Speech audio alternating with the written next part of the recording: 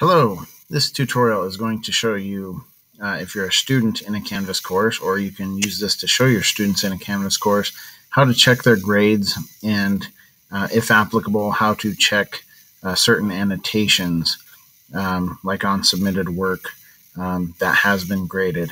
Okay, so I'm logged in as a student right now, and this is just a fake assignment in a fake class. Uh, but you can see that as I'm in as a student, you can see here grades number one. And that basically means that at least one assignment has been graded and returned to me as a student. Uh, so if I want to see how I did on this particular assignment, I just need to go ahead and click here on grades.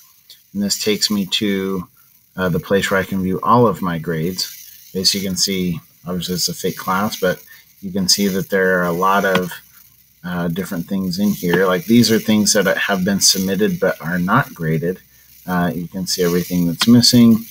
Um, so let me go down and find the assignment here. That is for this one. You can see this assignment has this uh, blue dot here, which means I have not actually looked at it in depth.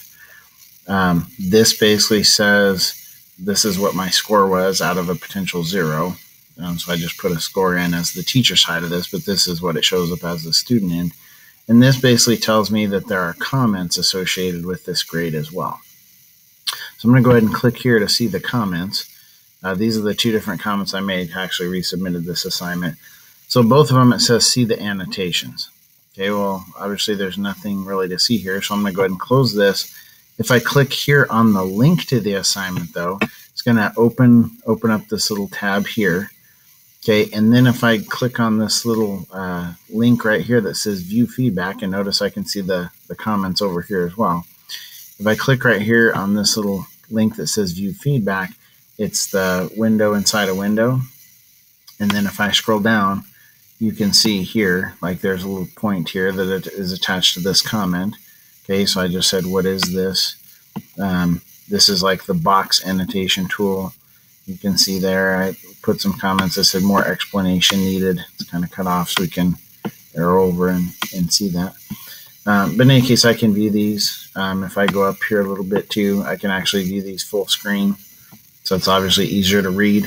So once again, this is me as the student. This is how I know specific things that the instructor has has told me that I need to fix. Um, so this is a quick little tutorial about how to look at annotations and grades as a student uh, so that they can get appropriate feedback. And I guess one last thing to note as well, I can actually add a comment back to the teacher as well. So if I type something in here or submit a media comment, I can give another comment back to my teacher if, if I'm in fact a student saying, hey, you know what, I have a question about why you graded it this way or or whatever the case may be. So that is how you check your grades and get feedback uh, inside of Canvas after an assignment has been graded.